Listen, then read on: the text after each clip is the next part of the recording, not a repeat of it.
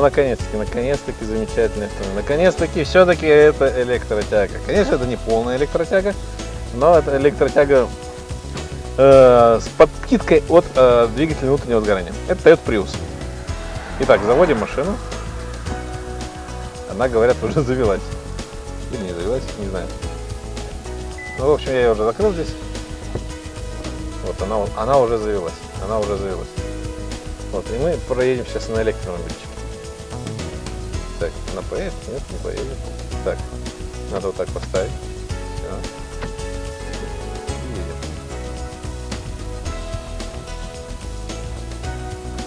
Чувствуете? Тишина. Чувствуете? Тишина. Потому что мы едем на электричестве. А теперь я скажу, идиоты вы, господа мои магнитогорцы. В смысле, не вы идиоты. Нормальные люди как бы ездят спокойно на электротяге. Но не все нормальные люди в Магнитогорске начинают понимать, что рано или поздно, а точнее уже скоро, электричество даст нам возможность ездить на электротяге. Вот как эта машина едет. Ну как она едет? Мы едем в абсолютной тишине, понимаете, на электричестве. Я смотрю, как все это дело работает. Изумительнейшим образом мы работаем. И это Toyota Prius. Я, честно, хотел бы сейчас и взять и Lexus 430GH, чтобы прокатиться, да, чтобы понять, что машина также ездит на электротяге. Когда нет необходимости, там включается двигатель, и он заряжает. То есть, чем эта машина хороша? В отличие от электромобилей, на Toyota Prius, так же, как и на всех гибридах, ты можешь ездить очень-очень долго, очень-очень долго, очень-очень долго. Сейчас я расскажу, сколько э, по бензинчику она кушает. Ну, пока электротяга и работает, да, мы едем на электромобиле, естественно. Как только что-то возникло, или мы ускоряемся слишком быстро, или еще что-то, включается электричество. Расход топлива 6 литров на 100 километров. Это по городу. По трассе эта машина будет есть 3,5 литра. Вот. Теперь э, вариант другой. Вариант другой. Это для тех, кто не совсем понимает, что электромобили э, ездят и вообще с ними никаких проблем нету. Здесь новый электромобиль. Новый электромобиль. Вот вокруг меня проезжают товарищи на... Это вообще смех. Я сейчас ржать буду не по-детски. Они ездят на чем? Э, на мотоциклах. Используют двигатель внутреннего сгорания. Опять же, сейчас нормальные мотоциклы используют электродвигатель. Скорость перемещения 150 километров.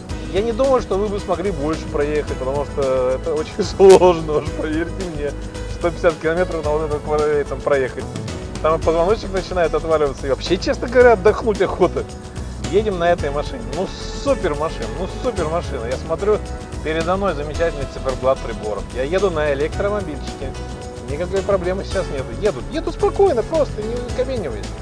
Я знаю, что это круто. Если бы сюда еще поставить газовый баллончик вот туда назад, то это было бы вообще сногсшибательно. Представляете, вы едете по городу 6 литров, ему абсолютно фиолетово, что он есть, или бензин, или газ, потому что он заряжает ваш аккумулятор. Нормальное явление?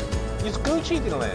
Вопрос цены и качества. Вообще, я бы честно сказал, и сейчас я в действительности на этом убеждаюсь, я говорю, что если мы говорим про японские автомобильчики, сделанные для Японии, то это просто шикарно, они работают исключительно. И то же самое, что это и для Америки. Представляете, как японцы для себя делают машины?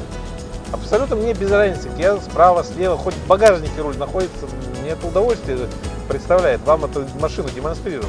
Машину в действительности вы можете себе купить. Почему нет? Я покажу телефончик, позвоните. Цена вопроса не сильно большая, 300 тысяч рублей, там плюс-минус. Там договоритесь. Да. Пока я себе такую штуку не могу купить. Но я сейчас думаю о следующем. Дело в чем заключается? Рядом с нами живет замечательный Китай, да? Ну, в принципе, Япония тоже рядом с нами находится. До Китая там проехать недалече, до Японии переплыть, грубо говоря, совсем недалече. Все эти машины являются э, электромобилями, и это электромобили будущего, да? В Китае они уже работают. Япония также работает. Все машины, все машины уже есть на электротяге. Просто на электротяге. Но если вы хотите подольше, то вот Prius. Замечательный автомобиль, причем ну, места и спереди, и сзади, и вообще достаточно. Что касаемо современных японцев, я просто сейчас объясню. То есть я смотрю, едет небольшой японец.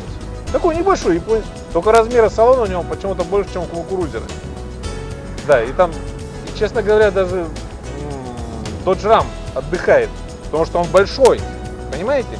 Я не говорю, что японцы мелкие. Нет, абсолютно не мелкие. Посмотрите, как они там состязаются в борьбе своей. Знаете, такая есть борьба. Где там японцы по 180 килограмм. Они спокойно ездят в этих машинах. Никаких проблем нету. Вот. Теперь, что касаемо электромобилей вообще. То есть электромобили исключительные. Говорят, что здесь проблемы с аккумуляторами. 15 лет, никаких проблем. Мы сейчас едем на электротеке.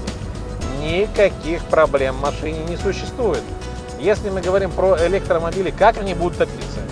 Ну, я сейчас объясняю, поскольку, поскольку я являюсь авиамоделистом, я летаю, естественно, на электротяге, сейчас объясню дальнейшую ситуацию. Да?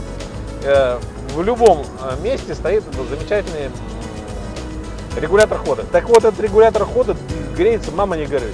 Поставьте к нему небольшой вентилятор, и машина с малых оборотов, как только все начинает прогреваться, вас греет. То есть вы берете электромобиль тупо, просто электромобиль, заводите его зимой, да, начинаете движение, да, просто начинаете движение и получаете удовольствие от того, что машинка уже теплая. То есть вам не надо 20 минут ждать, пока она прогреется. А я не могу, я не могу. Тем более вот эта машина. Чем эта машина еще более хороша? Она останавливается на светофоре. Ничего не кушает.